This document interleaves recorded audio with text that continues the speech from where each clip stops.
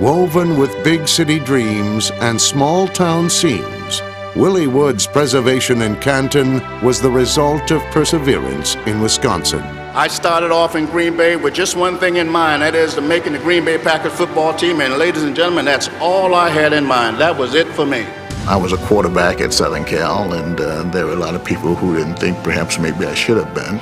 And um, I got hit upside the head a couple of times because of that.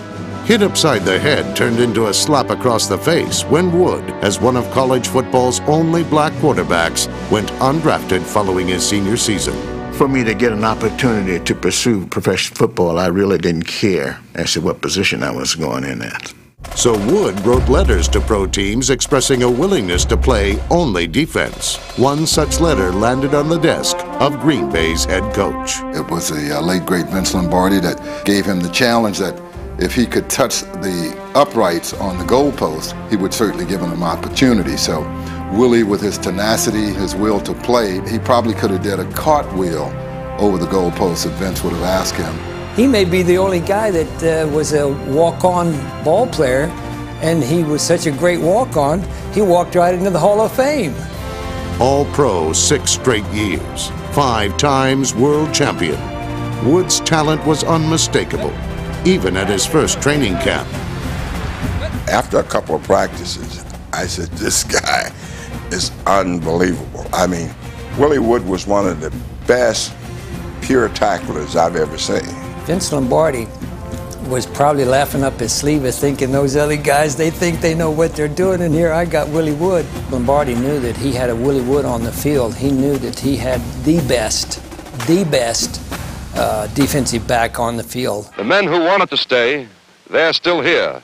And let me tell you this, Green Bay is a great town for football. Well, Green Bay was a small town, a very small town. The people were very friendly, and uh, I felt pretty good at my, you know, my being there. And of course, my purpose of being there was uh, was football, and that's what I, really what I focused on. I went there in 1960, and, and Willie was a rookie that year. I honestly think before that they had never had more than three black players on the team at, at any one time. There weren't any blacks in Green Bay at all. They had a guy at uh, one of the hotels, you know, who shined shoes and what have you.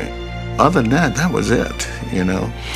Anytime you got homesick and you want to mingle with some of your own kind, we had to go to Milwaukee, and we did that quite often. Still in Wisconsin, black and white color distinctions have always run second to green and gold. Green Bay was strictly Packer oriented. I mean, everybody was a Green Bay Packer fan, and, and everybody knew who you were. It was like being in a fishbowl.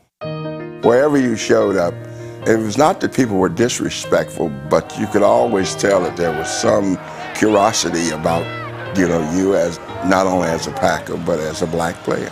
Each year, it really got progressively better.